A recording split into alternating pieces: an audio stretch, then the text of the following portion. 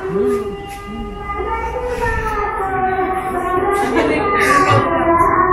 what's up guys? Welcome back with me and he and he and tadi ada Johan and we are there.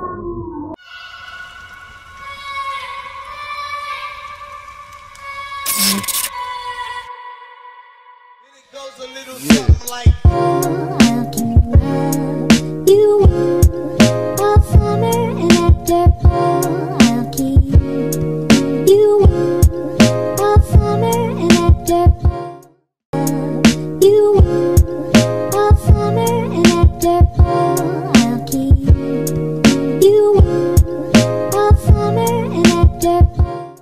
Yes, jadi ini Alvin lagi ngapain?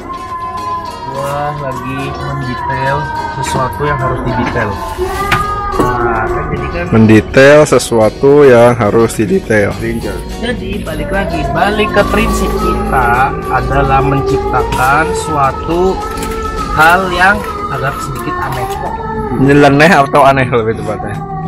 Dibilang aneh enggak sih mungkin semua orang juga bisa melakukan hal yang sama gitu Betul. cuman kita di sini lebih pengen apa ya berusaha menjadikan mobil itu sedetil-detil yang bisa dibilang orang lain belum tentu kepikiran Oke, Bener ya? setuju itu, setuju banget. jadi gua emang sebenarnya udah kepikiran ide ini dari lama banget gitu soal Jimny Oke. ini gue emang pengennya Airsas dari awal beli itu gue udah langsung ngomong wah gila nih mobil kalau ceper banget sih lucu gitu Oke. patokan gue Rubicon kalau enggak Sip. G, GG kelas. ya G63 kah? Nah, untuk menyeimbangkan otomatis saya harus body drop.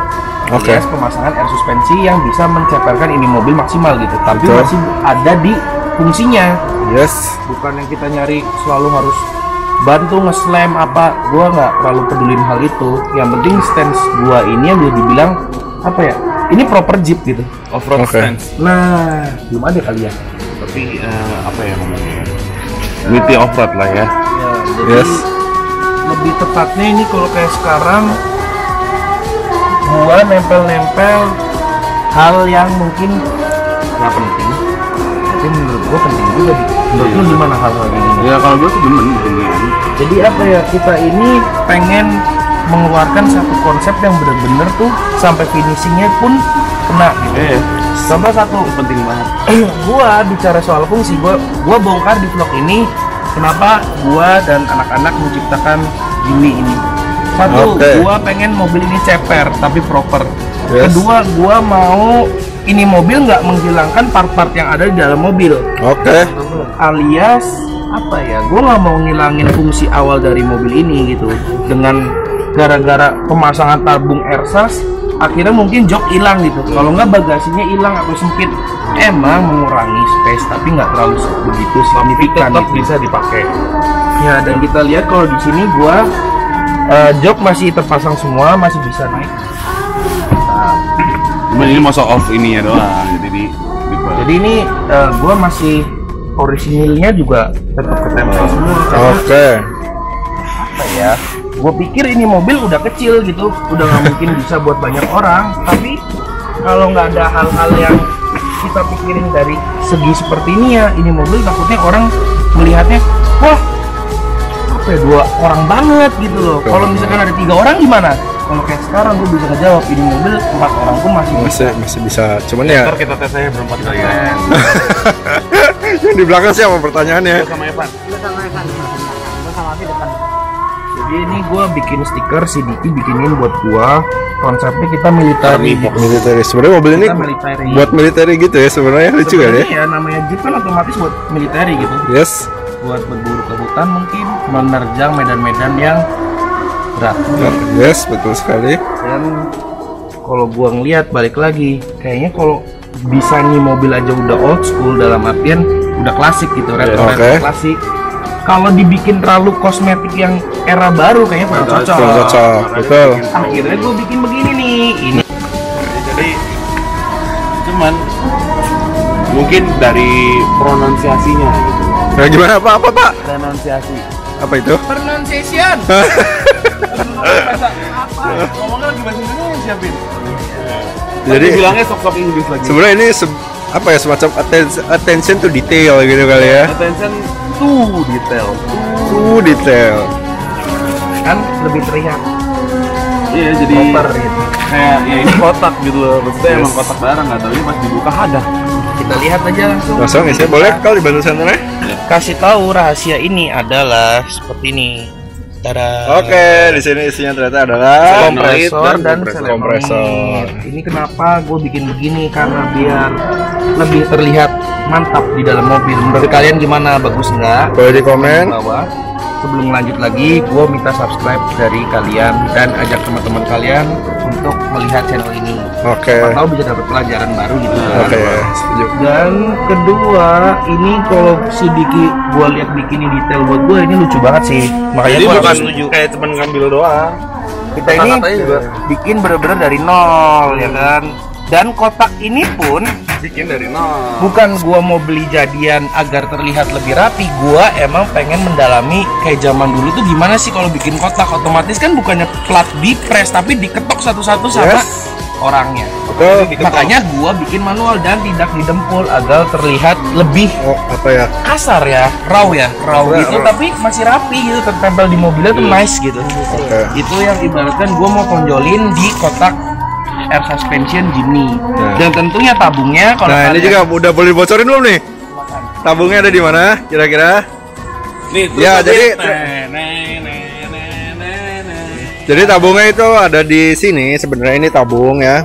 Jadi Ah, nah, ini. Oh, bukan. Baliknya, jadi taruhnya di balik sini. Dari bawah sini. Mas bohong banget. eh Han gue minta itu dong logo kan peneng yang di is ada nggak di laci is yang peneng kecil aja Baca is dimasukin ke YouTube jangan ya. Nah, jadi ini dia. Tara Maksudnya kan dipindah ke samping kan. Jadi Tabungnya di sini. get more space gitu kan untuk naruh si Nah, jadi memanfaatkan yang ada. Membuatkan yang Karena ada. Kalau nggak ada tuh nggak. Kenapa sih kalau gue vlog sama lu tuh bahasa mantan aja cewek aja terus eh, terus. Enggak, sorry gue nggak bahas mantan ya. Oke. Oke, jadi ini tabung sekalian percobaan juga ya Vin ya. Jadi tabung ersas tuh taruh di luar. Tuh kuat nggak sih? Gitu. tadinya gue tuh pengen bikin yang lebih aneh lagi Oke.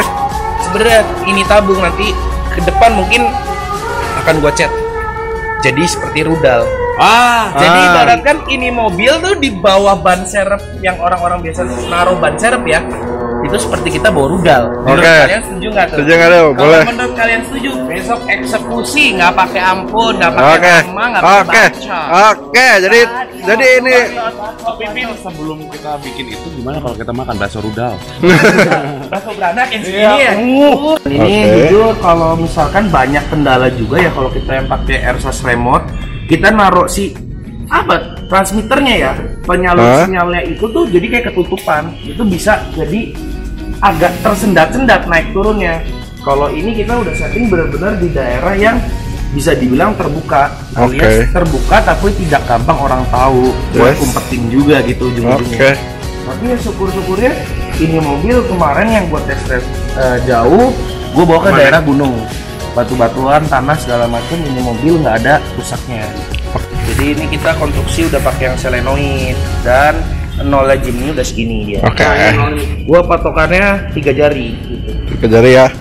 gue mainan tiga jari nah, Sip. Kenapa gue mainan tiga jari karena ada alasan gue ke depan bukan di pelek dengan di ban Oke, jadi jadi gue mau bikin ini mobil tetap mungkin eh, tingginya otomatis kalau kita tebelin ban kan akan lebih tinggi sedikit gitu. yes. Tapi gue pengen Fendernya mepet. ya, lebih membikin ini mobil tuh penuh gitu. Lebih Oke. sesek. Sesek gitu. Kalau gitu. Hmm, ya. Ya buat kalian gimana ide gua setuju nggak? Kalau setuju eksekusi seperti biasa gas. Nah, satu lagi Win, ada yang komen. Bang, kalau beli pelek 5 sekalian buat sekalian yang di, yang di belakang katanya biar kondenya bagus. Nih, waktu zaman gue beli ini mobil, gue di hari itu pun langsung di pelek dan lain-lain. Hah? Dan untuk PCD 5127 itu udah sulitnya minta ampun. Yes, betul. Karena apa ya, sebelum-sebelumnya eh sorry, 5 sa- Sat. kali 139. Itu 139. udah susah banget PCD-nya. Yang ada itu 6139 dan 5127 alias buat Prado yang gue ngomong di Oke. jadi kalau ini gue yang penting ada pelek dulu model seperti apa bodoh amat langsung gue sikat gue pilih begini sendiri tadinya seperti panci kalau gue lihat Yes. Wajan. wajan ya kurang maskulin gitu Eh wajan yang buat telur itu tau gak sih? Yang enggak kayak yang buat bikin martabak Iya, gitu. martabak Yes, telur itu. yang bulat gitu Iya. kan itu udah mirip banget jadi gue langsung set hitam deadliner penray uh, listnya tadinya warnanya biru gue rubah jadi warna body agar lebih menyatu gitu kesannya Oke. Gitu. jadi ya sementara Jimny ini baru apa ya progresnya sampai sini kali ya gue Yes. cuman lebih mau ngasih tahu ya ini progres kita dalam merakit headsas maupun part by part di earth gitu Oke. pikirin dari semua Dan sisinya tetap dipakai mobile buat tahu ya sini. Iya. Kita ada kendala atau apa, kita pasti buka juga kalau ada kendala. Oke. Nih? Menurut kalian gimana? Dilanjut jangan nih progres ininya nih. Dilanjut nggak? Kalau dilanjut boleh lah. Pokoknya banyakin komen, ajak teman-teman kalian terus buat like, subscribe ya. Dan Instagram kita empat aktif semua dan Tokopedia pun ada. Dan gua info sebelumnya Earth udah punya tuner body kit ya atau auto styling body. Itu ada linknya di bawah mungkin at Earth Titik. dot saber. Jadi kalian boleh kepo-kepo, boleh follow juga, bantu memajukan industri modifikasi Indonesia dan berbanggalah jadi warga Indonesia. Oke. Apalagi produknya ya. Produknya. Jadi mudah-mudahan kita bisa bersaing dengan luar, otomatis memajukan nama bangsa kita. Karena semua kreasi anak bangsa tentunya. Jadi mungkin this is our topic. See you in the next video.